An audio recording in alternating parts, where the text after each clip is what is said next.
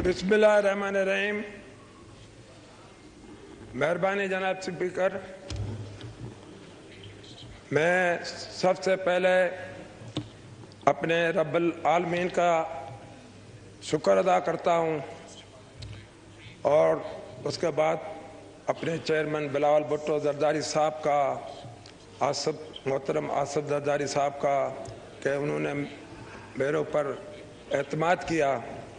और मैं अपने मलिर के अवाम का का भी बहुत शुक्रगुजार हूँ। और मैं अपने पीडीएम की लीडरशिप मियाँ मोहतरम नवाज़ शरीफ साहब वज़ी अजम शहबाज शरीफ साहब, मौलाना फजल रहमान साहब अहमल खान वली साहब और जो भी पीडीएम के इत्यादि जमाती हैं, उन सब का मैं शुक्रगुजार हूँ।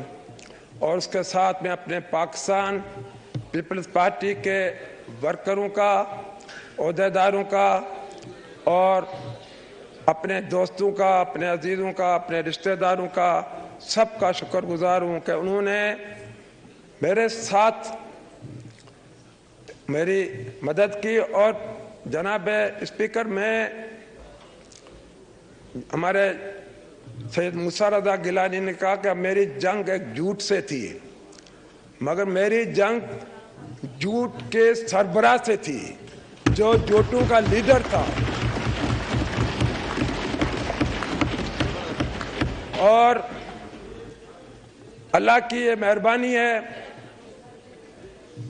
कि एक जो जोटू का बड़ा सरबरा था जो मलिर में इलेक्शन लड़ रहा था, और दूसरा उनका नायब जो था, वो मुल्तान में इलेक्शन लड़ रहा था। तो दोनों मीम ने, जो हमारे प्यारे हज़रत मोहम्मद मुस्तफ़ा सल्लल्लाहु अलैहि वसल्लम के नाम से शुरू होता है, मलिर और मुल्तान ने उनको बुरी शिकल दी।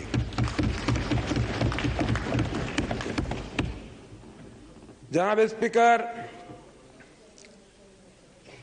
मैं समझता हूँ और मैं हम अक्सर अपने तकरीरों में कि जो चीज़ बड़ाई, फखर और फरूनत पे मुश्तमल हो और जो चीज़ एक गैर फितरी हो,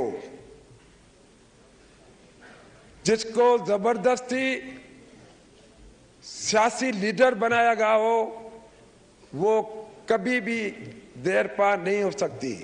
आप देखें कि जो भी गैर फतरी चीज़ें उनको जवाल हुआ है। और मैं अक्सर अपने तकरीर में यही कहता रहा कि मुझे यकीन है कि मलिर के बाशौर अवाम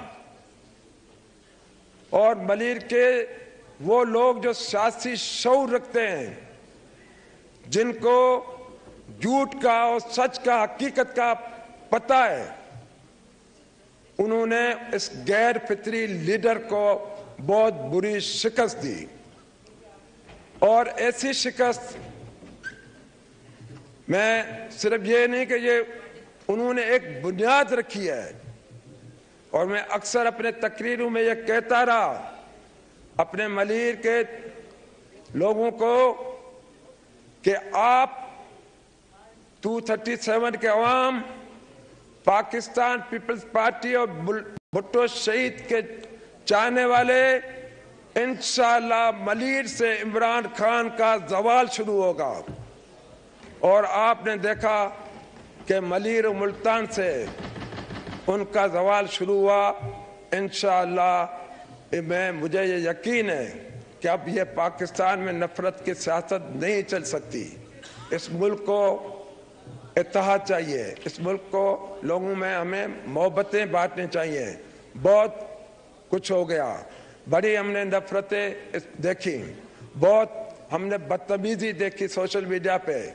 अब इसका खात्मा होना चाहिए। मैं समझता हूँ कि मलिर और मुल्तान के लोगों ने ये अपना फ़र्ज़ अदा करके इस कौम को एक शूर दिया। इन आप देखेंगे कि आगे इस झूठ को, इस फ्रेब को, इस बदतमीजी को बहुत बड़ी शिकस्त होगी। आप सब दोस्तों की बहुत बहुत मेहरबानी।